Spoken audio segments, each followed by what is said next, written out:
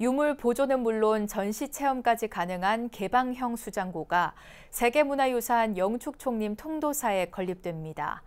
전국 사찰 최초의 개방형 수장고에 대한 기대감이 커지고 있는 가운데 김현모 문화재청장 등 관계자들이 현장 점검에 나섰습니다. 울산 BBS 박상규 기자가 보도합니다. 신라 자장율사가 창건한 영축총림 통도사 우리나라 삼보 사찰 가운데 하나인 영축총림 통도사는 1376년의 오랜 역사만큼 무려 3만 점이 넘는 유물을 소장한 문화유산의 보고입니다. 특히 2018년에는 이런 가치를 세계적으로 인정받으면서 유네스코 지정 세계문화유산으로 등재되기도 했습니다. 통도사는 앞선 1999년 통도사 성보 박물관을 개관하면서 성보 문화재에 대한 체계적인 보존 관리와 전시에 나섰지만 시간이 갈수록 공간 부족 등이 한계로 지적되고 있습니다. 이에 통도사는 제2성보 박물관 역할을 할 수 있는 시설 건립을 검토했고 최종적으로 수장고 건립을 결정했습니다.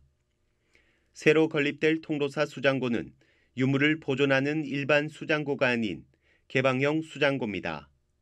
개방형 수장고는 유물 보관과 동시에 전시 등도 가능해 일명 보이는 수장고로 불리며 전국 사찰 가운데 첫 사례입니다.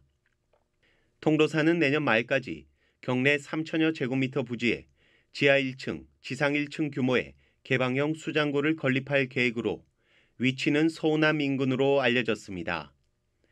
이와 관련해 김현모 문화재청장 일행은 통도사를 찾아 대웅정과 수장고 건립 부지 등을 둘러보고 사안을 논의했습니다.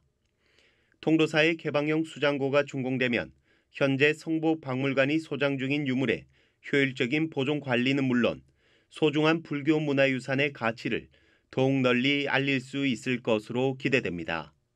영축총림 통도사에서 BBS 뉴스 박상규입니다.